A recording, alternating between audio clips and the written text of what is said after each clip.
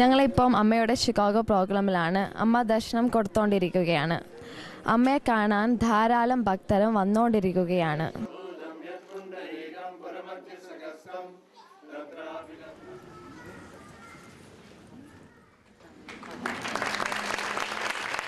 Amma has inspired millions across this globe by her selfless service to humanity Service to humanity is service to Almighty Himself.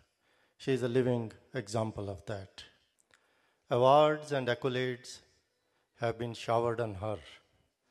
But you will all agree with me every award, every honor Amma has received has been honored by her acceptance of those awards.